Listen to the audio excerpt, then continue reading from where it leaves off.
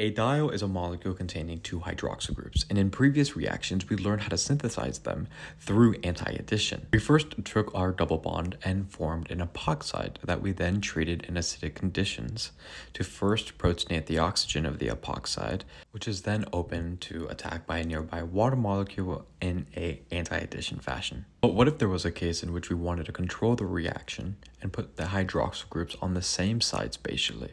Or syn addition. The standard reaction we learn for forming syn 1,2 diols is reacting the alkene with osmium tetroxide. The reason why this results in a syn addition is how the double bond reacts with osmium tetroxide in a cycloaddition fashion all in one step. Once this five-membered cyclic intermediate is formed, the intermediate can then undergo hydrolysis, leaving us with our syn 1,2 diol.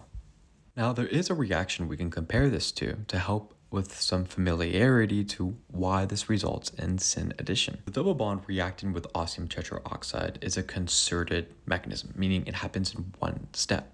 This is very similar to what we discussed when talking about epoxidation with mCPBA. Throughout that reaction, the peroxy acid reacts with a specific face of the double bond to deliver the oxygen to both of the double bond carbons at that face, maintaining the original stereochemistry of the alkene throughout the reaction. You can use similar lines of thinking when thinking about this syn dihydroxylation reaction with osmium tetroxide. This cycloaddition step only happens at a single face of the alkene. So the two oxygens are delivered to the same face of the alkene throughout the reaction.